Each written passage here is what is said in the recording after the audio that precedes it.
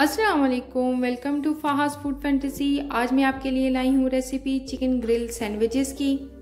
बहुत ही इजी और सिंपल सी रेसिपी है। इसके लिए हमें जिन इंग्रेडिएंट्स की ज़रूरत पड़ेगी, उसमें सबसे पहले हम ले लेंगे ब्रेड हम लेंगे four to six slices chicken हम ले लेंगे, एक कप इसको मैंने बॉईल कर लिया नमक के साथ और श्रेड कर लिया। दो मीडियम साइज़ के एग ले लिए, हमने उनको बॉईल करके चॉप कर लिया। लेटस लीव ले लेंगे हम हाफ़ कप ऑलिव्स ले लेंगे टू टेबल स्पून के करीब चॉप किए हुए हैं। क्रीम चीज़ हम लेंगे फोर टेबल स्पून बटर लेंगे one tablespoon chilli flakes लेंगे वन टीस्पून मिक्स हर्बा हम लेंगे half teaspoon black pepper लेंगे हम वन टीस्पून और सॉल्ट भी हम लेंगे वन टीस्पून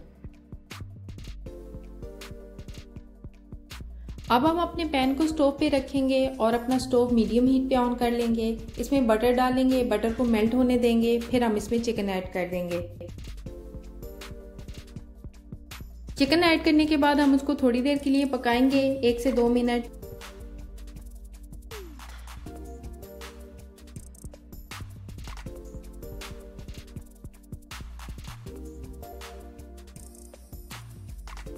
एक से दो मिनट के बाद हम अपने स्पाइसेस इसमें डालेंगे और उनको भी एक से दो मिनट तक पकाएँगे। फिर हम इसमें अपने ऑलिव्स ऐड कर देंगे।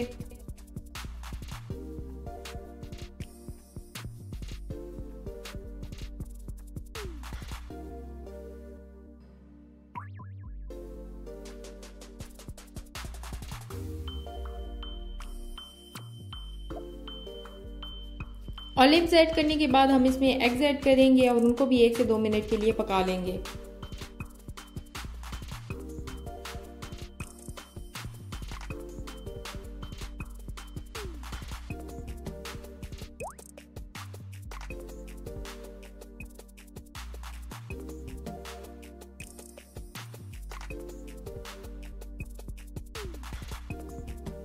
अब हम इसमें क्रीम चीज़ ऐड करेंगे। अगर आपके पास क्रीम चीज़ ना हो तो आप मेयोनीज भी यूज़ कर सकते हैं।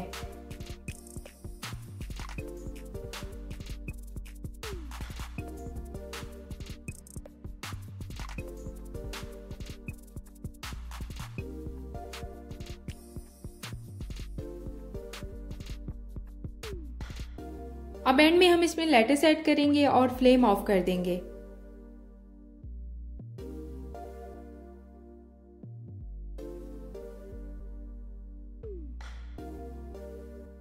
जब तक हमारी फिलिंग थोड़ी ठंडी होती है तो हम अपने ब्रेड के जो है, वो किनारे काट लेंगे।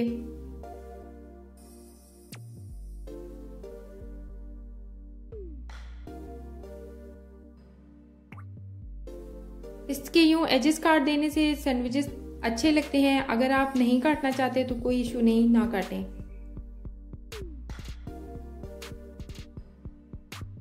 और इसके जो एजेस कट रहे हैं, वो वेस्ट नहीं होंगे। आप इनके ब्रेड क्रम्स भी बना सकते हैं।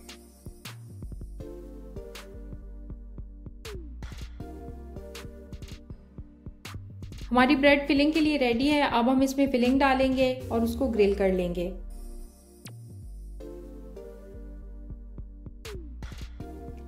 मैंने ग्रिल करने के लिए सैंडविच मेकर यूज़ किया है। अगर आपके पास नहीं हो तो आप सादे पैन में भी इनको ग्रिल कर सकते हैं। हमारे सैंडविच ग्रिल हो चुके हैं। अब हम इनको दरमियान में से काट लेंगे और सर्विंग डिश में लगा देंगे।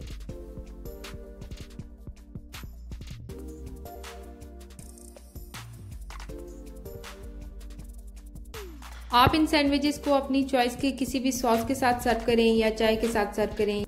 मज़ेदार से चिकन ग्रिल सैंडविचेस रेडी हो गए हैं। उम्मीद करती हूँ कि आपको ये रेसिपी पसंद आई होगी। अगर पसंद आई है तो मेरे चैनल को लाइक करें शेयर करें और सब्सक्राइब करें। देखने का बहुत शुक्रिया। अल्लाह हाफिज़।